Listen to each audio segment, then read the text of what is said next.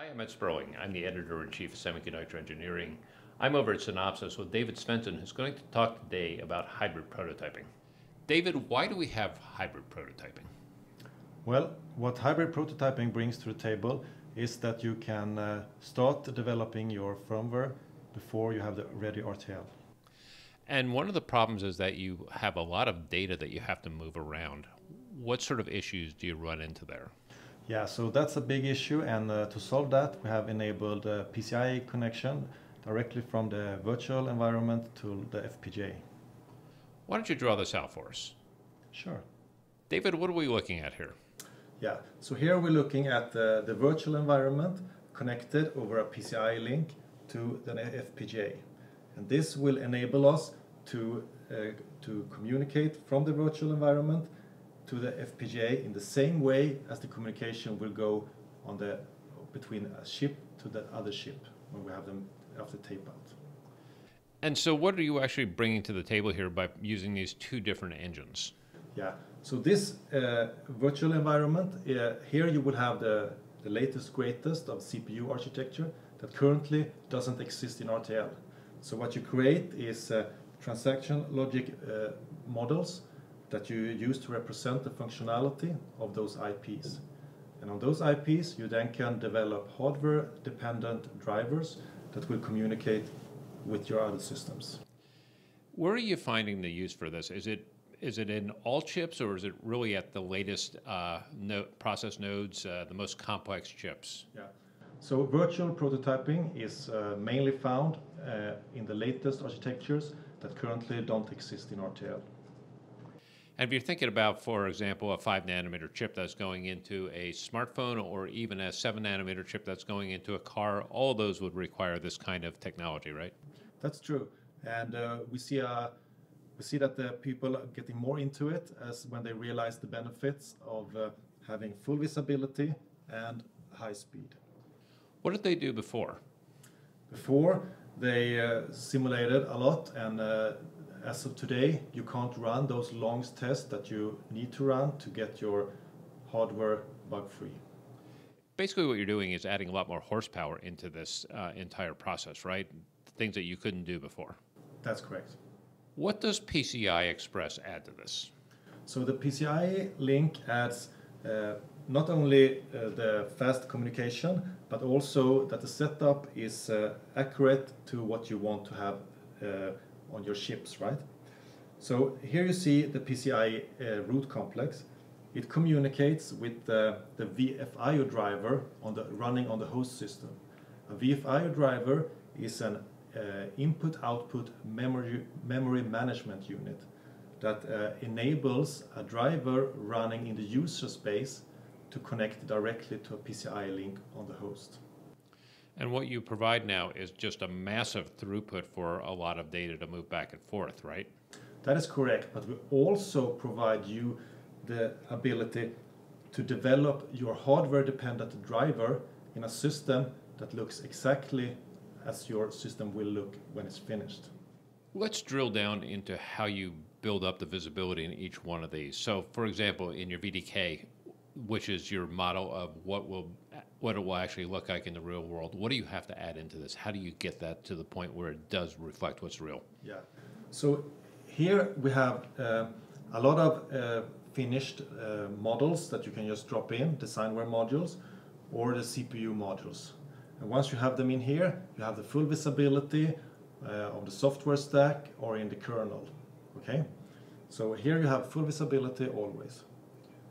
On the FPGA side of things, there are a lot of uh, mainstream uh, commercial software debuggers that you can connect to it, but there are also some HAPS-specific things you can use to increase your visibility. So in, uh, in this case, I have here added an Exactor. This one I control over the UMRBus from a Tcl script or a C application. Uh, this uh, gives me full visibility into all the AXI memory space, so I can read and write any register I want. So let's say I kick off some software application running here that communicates. I can then easily see what registers has been changed from this operation. That is very powerful. The other thing that I have on this side are the AXI performance monitors. That's an easy way to find out where the traffic is going. So I can see the number of transactions that happened, the number of bytes. I can also see the latency and which side is waiting for which side. So that gives me an indication of where my bottlenecks are in the design. What I also have on this HAPS system is the deep trace debug. And that works in the way that during compile, you select your signals of interest.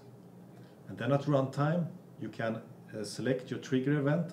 And once that's happening, uh, this, your signals of interest get offloaded into a DDR memory. And that data you later use to recreate your waveform for you to analyze. In the past, you learned one or the other of these, but you didn't necessarily know both. How has that changed? What, what, what do you have to have as a skill set now that you didn't before? To debug these things, to set up these things, thing, uh, there is actually not much extra skill you would need. To set up a system like this, this is something that is done in, in less than a day. And uh, now you can start add your IPs if you have the RTL here, or other modules on this side. Is the goal here to be able to develop a, a system faster, debug it faster, or is it really to develop the software that goes with it? Oh, it's a combination of those things. Everything you can do to shift left, you gotta do, right? Considering you are working with both software and hardware, now you have to debug both of them. What happens when you're, you're working with these platforms? Right, so that's obviously very complex, and on, on the VDK side, you have, as I mentioned, full visibility, but on this side, you can really only debug the software since the hardware is only represented by uh, loosely timed modules. On the hardware side, you can debug the hardware and the software together. So for the software, you can connect your software debuggers, either a JTAG or any that comes with the particular CPU you are using. You can also use the exactors to read and write to the registers uh, to see what registers get changed. So those are on the software side. On the hardware side of things, you have deep trace debug, which uh, that during compile you select your signals of interest, and uh, then at runtime you set your trigger condition, and when the trigger is fired, uh, this, the, those signals get offloaded into an external DDR memory and that data you'd later use to recreate your waveforms for you to analyze. On top of that, we also have global state visibility or GSV. GSV uses uh, the readback functionality available on the Xilinx FPGAs and it also maps uh, the register value to your RTL name. Uh, GSV can be used on your full design even if it spans multiple FPGAs or an FPGA of your choice, or even a module of your choice. Now, when we use GSV, we have to control the clock. So, control clock in combination with this, these live interfaces, you need to make sure that these live interfaces respect the fact that the clock is stopped and don't try to communicate with that part of the design at that time. How does this match up with real silicon? So when you send this out, you've got your GDS2, you've got it all debugged, you think it's all working. By the time you get it back, does it match?